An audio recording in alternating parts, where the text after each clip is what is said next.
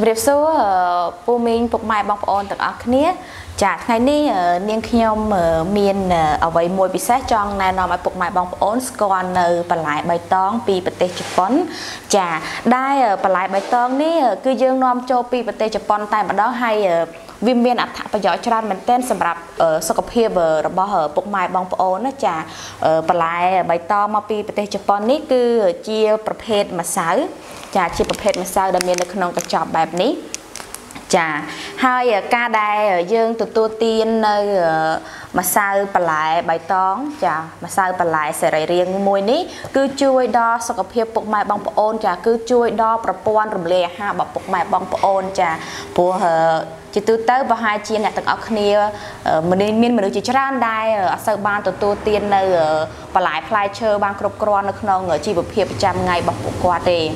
ដូច្នេះហើយនៅប្រទេសជប៉ុនគឺមានមនុស្សជាច្រើននិងជាពិសេសចាស់ចាស់ចាគាត់ភាសាវាជារៀងរាល់ថ្ងៃជាប្រចាំដើម្បីឲ្យ ជួយសម្រួលដល់ប្រព័ន្ធរំលាយអាហារនិងការបញ្ចេញចោលនៅកាកសំណល់ដែលមិនល្អនៅក្នុងខ្លួនគាត់នឹងចេញមកចាហើយការទទួលទាននេះផងដែរគឺបន្លែបៃតងសរីរាង្គនេះគឺសម្បូរទៅដោយជាតិស័យអញ្ចឹងគឺវាល្អមែនទែនសម្រាប់ប្រព័ន្ធរំលាយអាហារហើយវិធីញ៉ាំហ្នឹងគឺយើងគ្រាន់តែលាយវាជាមួយនឹងទឹកចាលាយវាជាមួយនឹងទឹក ទឹកអីក៏បានដែរឲ្យតែជាទឹកសទឹកជាចាអញ្ចឹងពុកម៉ែបងប្អូនអាចភាសាវាបាន ជារៀងរាល់ថ្ងៃចា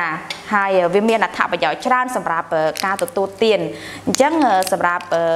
នាងខ្ញុំនាងខ្ញុំជ្រើសរើសនៅទឹករ៉ែសុភគោលចាហើយ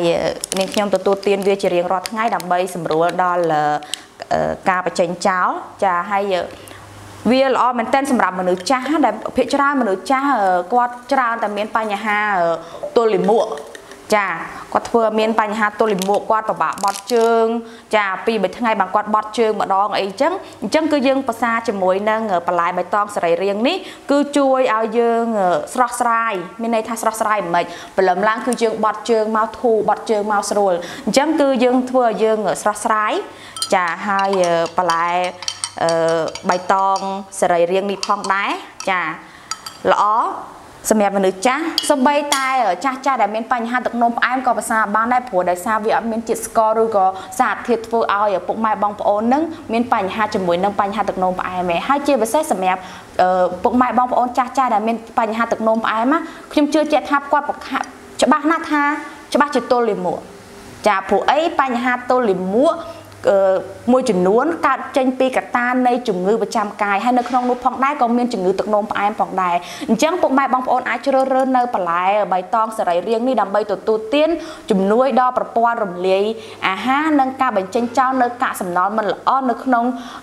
ពោះវៀនធំរបស់ពុកម៉ែបងប្អូនចាហើយដោយនាងខ្ញុំបានបង្ហាញនៅរូបភាពអញ្ចឹងគឺយើងជ្រើសរើសទឹកមកទឹកសុទ្ធទឹកសទឹកសាបទឹកជា ចាយកមកលាយជាមួយនឹងអឺអឺម្សៅបន្លែបៃតងហ្នឹងចំនួន100ទៅ180 cc ចាដើម្បីទទួលទានក្នុងមួយថ្ងៃមួយកញ្ចប់ហើយអាចជ្រើសរើសប្រើប្រាស់ទទួលទានហ្នឹងក្នុងពេលណាក៏បានចា ពុកម៉ែបងប្អូនអាចហូបនៅពេលណាក៏បានមុនអាហារពេលព្រឹកឬក៏អាហារពេលព្រឹកហើយឬមួយក៏ពេលណាក៏បានដែរឲ្យតែពុកម៉ែបានហូបក្នុងមួយថ្ងៃមួយកញ្ចប់ឬក៏ពីរកញ្ចប់ល្អបំផុតសម្រាប់សុខភាពនិងរាងកាយរបស់ពុកម៉ែបងប្អូនហើយវាល្អសម្រាប់ពោះវៀនរបស់យើងហើយនៅពេលដែលយើងព្រលឹមឡើងយើងបត់ជើងចេញអស់នៅកាកសំណល់ដែលមិនល្អនៅក្នុងពោះវៀនរបស់យើងនឹងគឺធ្វើឲ្យយើងស្រស់ស្រាយយើងអារម្មណ៍ល្អផងដែរចាហើយសម្រាប់នាងខ្ញុំនាងខ្ញុំជ្រើសរើសទទួលទាននៅបន្លែបៃតងសរីរាង្គនេះជារៀងរាល់ព្រឹកចាមុនអាហារពេលព្រឹករបស់នាងខ្ញុំនាងខ្ញុំជ្រើសរើសទទួលទានវាជារៀងរាល់ព្រឹកចាអឺចង់ជម្រាបពុកម៉ែបងប្អូនផងដែរថា បន្លែសរីរាង្គបៃតងពីប្រទេសជប៉ុននេះអត់មានធំក្លិនអីទេអត់ធំក្លិនកពុលអត់ពិបាកហូបចាអត់មានរសជាតិផ្អែមចាអត់មានក្លិនអីហើយបើសិនជាពុកម៉ែបងប្អូនធ្លាប់ភាសាដូចជាស្ងោ ស្លឹកបាសស្ងោផ្ទីអីរសជាតិប្រហែលគ្នាចាប៉ុន្តែគ្រាន់យើងស្ងោស្លឹកបាសស្ងោផ្ទីស្ងោបន្លែបៃតងហ្នឹងទៅយើងមានបងអំបិលបងស្ករបងប៊ីចេងអីចឹងទៅប៉ុន្តែសម្រាប់នេះអត់ទេគឺជាប្រភេទបន្លែសរីរាង្គសុទ្ធតែម្ដង ដែលចម្រាញ់ចេញពី